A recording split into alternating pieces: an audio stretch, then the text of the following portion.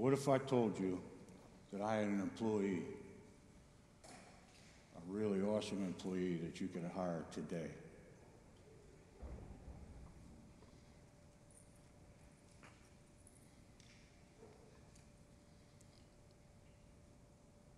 Person's a self-starter, self-motivated. At one point, had 15 to 20 people working for him on a contractor basis.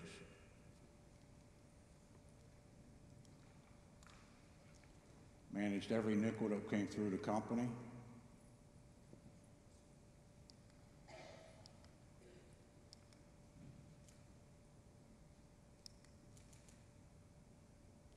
In his first year, grossed a million bucks.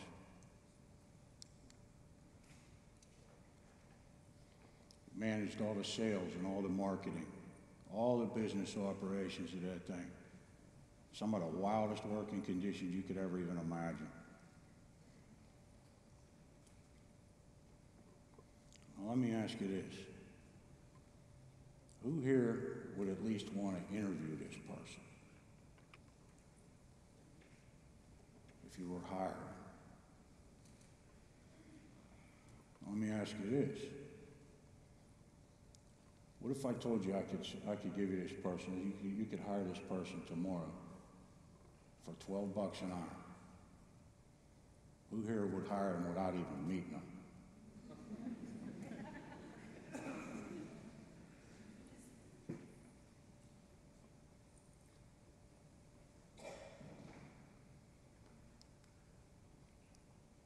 Well, here's the kicker. This person's been convicted of selling dope and went to jail, but not bouncing back. Now tell me, are you just as eager to hire that person? Do you have any reservations about hiring that person that you didn't have just a couple minutes ago? Now, if you're being totally honest with me, I'll bet you, did, I'll bet you you do. And that's the problem. That's where the Trade Institute of Pittsburgh comes in. You know, at the Trade Institute of Pittsburgh, we take some of the most neglected, but some of the most talented people in this city and put simple tools in their hands and launch them into building trades, restoring our city.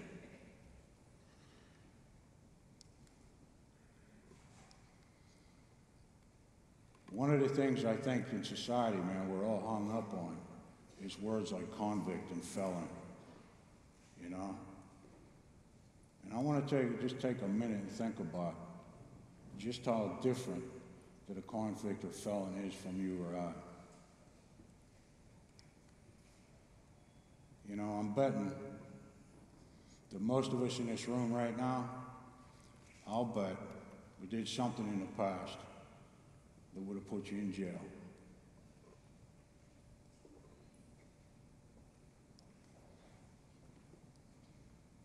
The thing about it is, you know, for each one of us, man, you look at this. It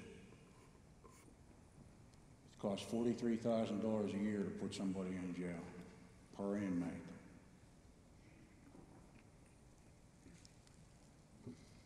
Now you think about that. You think about that forty-three thousand dollars a year, now that's tax money that we're putting out to just keep one person in jail. Now let's look at what that money could be doing otherwise. You know, that money could be going to schools, could be going to community work, can be doing going to all kinds of other really cool stuff around the city that could be better in our city. But you know, I bet now that you know that it costs forty-three thousand dollars, that you might just be a little bit ticked. Knowing that you're paying forty-three K a year to keep somebody in jail.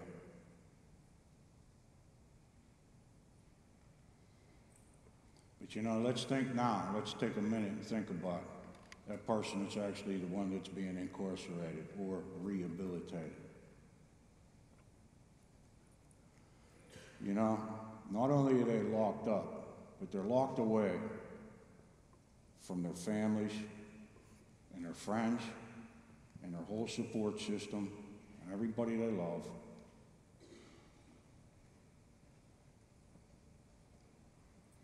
And you know,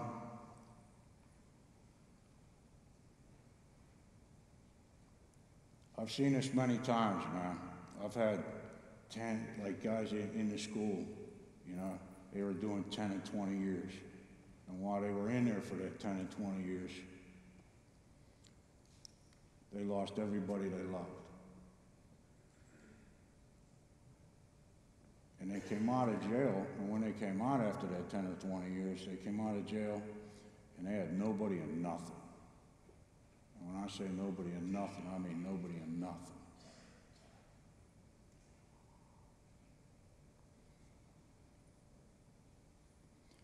So could you imagine what that would be like? After doing the time you were supposed to do, and you come out and you have absolutely zero support system.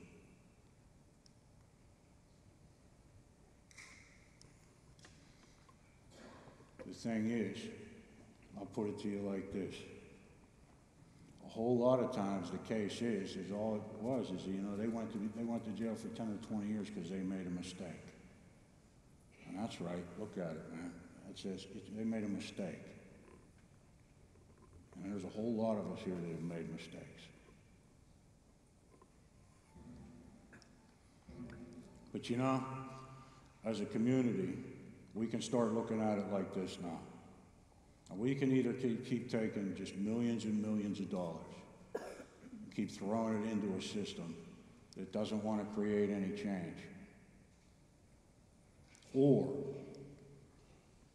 we can help these great guys, young men and women. Click.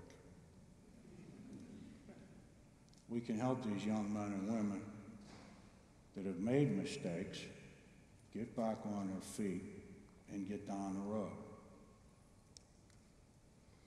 So you ask me, you say, man, how do you do this? So I'll tell you something, what we do at the Trade Institute of Pittsburgh. We can take somebody from zero to a living wage in 90 days. You say, how do you, man, how do you, how do you turn, how do you turn all that, you know, how do you turn all that craziness around just in, in 90 days? Well, I'm going to show you how.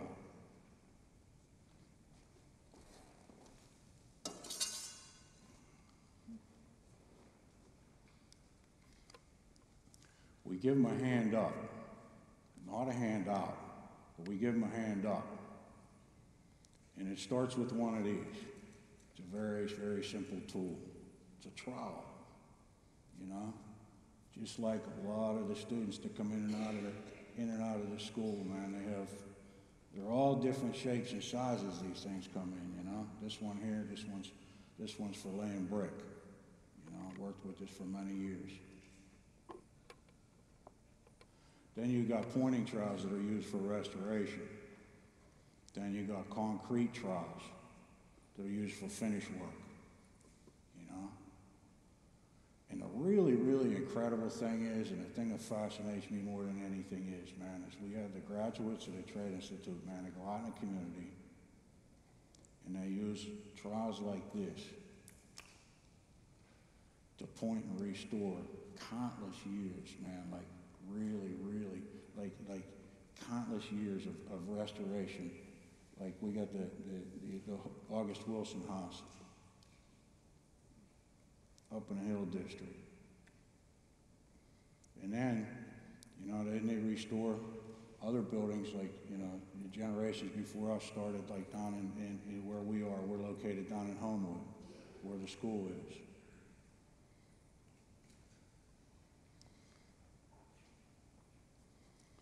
But you know, you, you, you, look at it like this, you say, man, how, Steve, how, how, good, how good can they get in 10 weeks, man? You know? What can you do with a guy in 10 weeks? How can you take a guy and really get him going in 10 weeks? Well, I'll tell you something, man. I'm going to show you something here.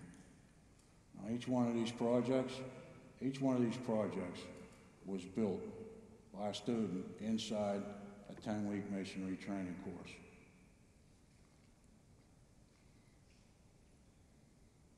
Ask me, you say, you know,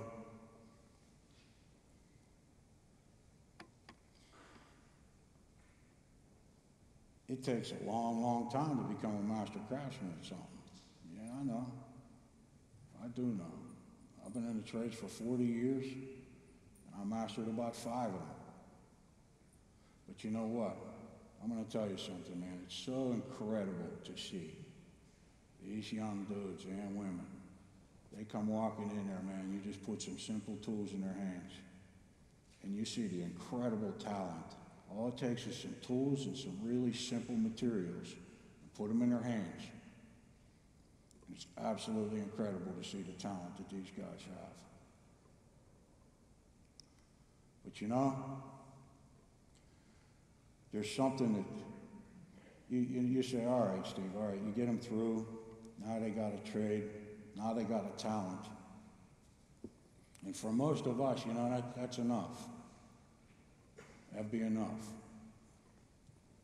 But you know, for them, coming out of jail, getting the tools in their hands and wanting to put their families back together and everything, you know, you say, man, you know, uh, what is, what is, they need a whole lot more than that. I'm going to give you three guesses what it is. What's the primary thing that you think these, these young men and women coming out of jail need? I'm going to give you three guesses. It's a job, it's a job, it's a job.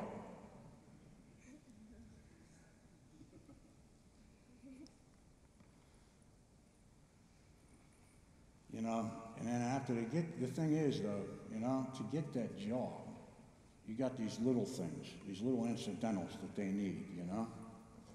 You gotta have, you, you think about, we, ta- we take all this stuff for granted every day that we, every day we do what we do. But you know, in order for them to get that job and secure that job and be able to perform in that job, you need housing, you need health care, you need food, you need transportation. This is all the kind of stuff that we take for granted.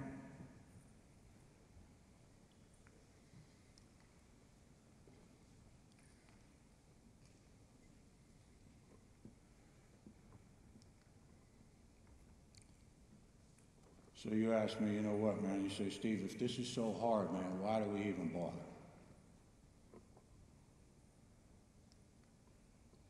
Well, I'll tell you why we bother.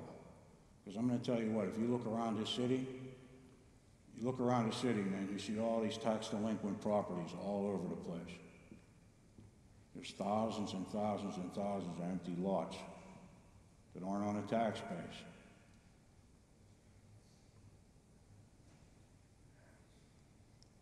Then we got need of 21,000 affordable housing units right now.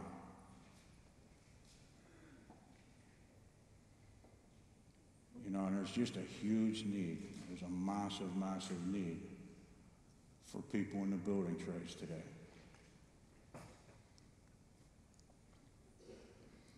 You know, if we don't do something pretty quick, we're not only going to lose the buildings, but we're going to lose the people. And the really cool part about this is, man, is, you know, if we can pull together as one city and encourage, give them some simple tools. And you know, the wild thing is, is, now stop and think about this, man. You know, I don't care if you're, I, it doesn't, it, I don't care if you're rich, if you're poor, if you're black, white, male, female. I don't care, man. It just doesn't matter. It doesn't matter. You know, we need to pay the price, period, to make the changes that we need to make.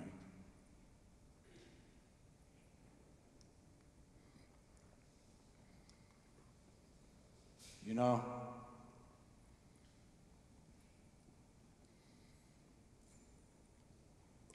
probably most of us in this place are dreamers. I know I'm one.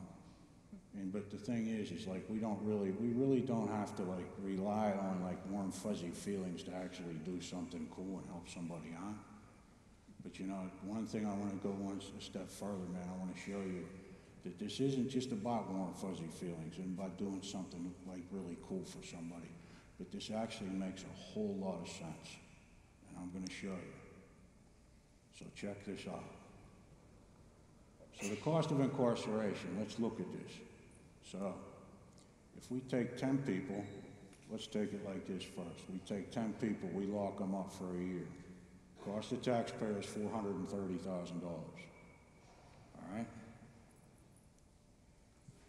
Now, that's forty-three thousand dollars a year. That's more than most, uh, that's more than a lot of, lot of households make. Now, let's take that same ten people and let's lock them up for ten years.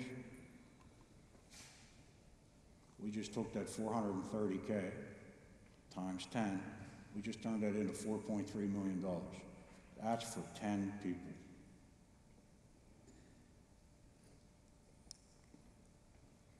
Now, check this out.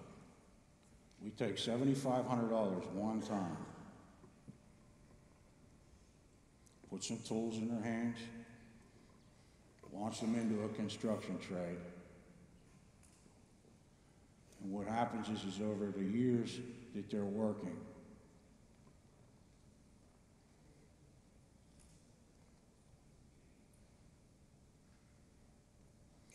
not only is it the savings of the four point three million, but now, those same ten guys, man, what happens is, is they, they're, they're generating taxes, so now that's forty-five thousand dollars that's coming back. And now we're saving that four point three million because they're no longer in jail.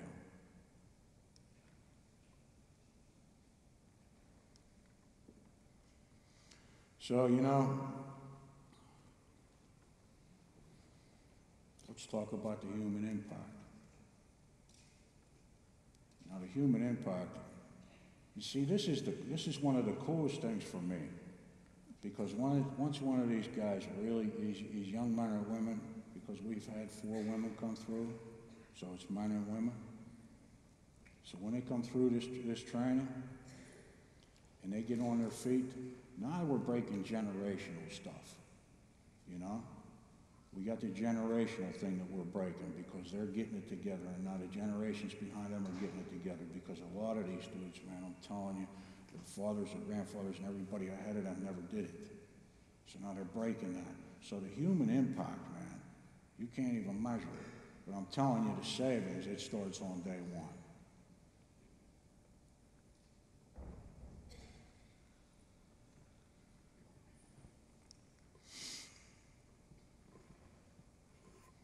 We're gonna go one step further. You know, as we build the city,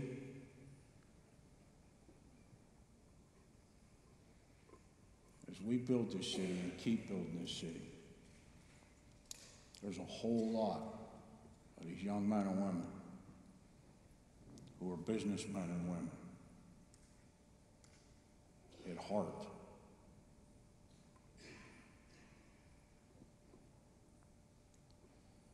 And you know what they need? Is all they need is to be having things. They need to have somebody standing behind them to channel the right resources and backing and everything to back them up. Because you can't tell me, I'm going to tell you, you remember the dude I talked about at the beginning? He was selling a million dollars a year in dope. And that's no joke. You can't tell me that guy can't run a small business or even a large one.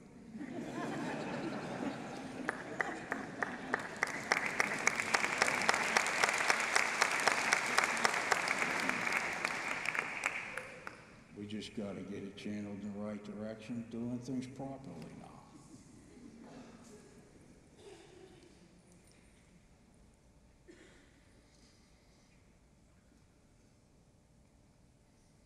So, you know, if we can take all of us as fellow flawed human beings, and we can work together, rebuilding Pittsburgh, helping to rebuild some lives, everybody working together, man It's really not that difficult. But I'm gonna ask you today, for anybody that you know that needs a first, or a second, or maybe even a third chance, that you would look past the fear and ignorance that's been created by media and simple myths.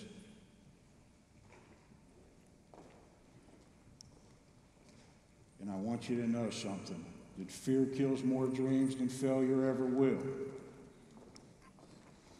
So I want, I want you to join with me today. And I want you to make a choice in putting your hand out so that the next bricklayer, electrician, carpenter, plumber, welder can get that hand up that they need to put their lives back together in our communities. Thanks for being here.